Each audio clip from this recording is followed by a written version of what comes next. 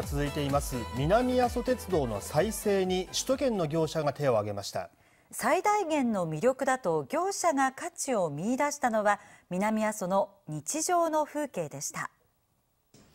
世界には西向きの浜辺に面した夕日の美しい駅がいくつかあります。高森駅もそれらに負けない駅となります。昨日高森町で行われたのは南阿蘇鉄道高森駅と駅周辺の再開発に向けたプランを選ぶ審査会です。39の提案が寄せられ一次審査を通過した5つの案を公開で審査します。残っているのはいずれも首都圏の建築事務所5社です。公開審査には県内外の建築関係者100人以上が訪れ町のケーブルテレビでは審査会の様子を生放送。南阿蘇鉄道の復興に向けた関心の高さがうかがえます。地元だけでなく熊本市からも審査の行方を見守る人が。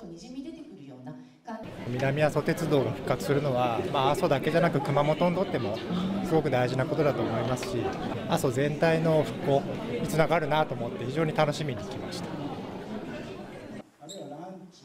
それぞれが掲げる南阿蘇地域復興への道。構想の核となる観光面で上がったのは。私たちはその駅の人々の風景と同時にこので線路の向こう側の田園風景がすごく素晴らしいと思いました。でそれとあと列車ですね。そういったものを複層的に、えー、重ねていくことが街の顔になると考えました。全長17キロにわたって学校を作ろうというものです。周辺に広がる田園風景や自然の美しさなど町の人たちにとっては当たり前の風景が復興への鍵になるという提案が多くありました。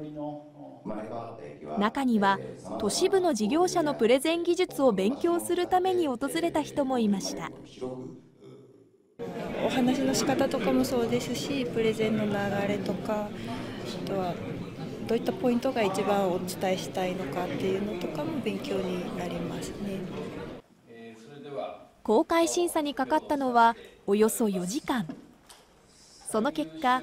夕日の美しい駅として駅そのものを風景に取り込み観光客にアピールすることを提案した東京の建築事務所のプランが選ばれました。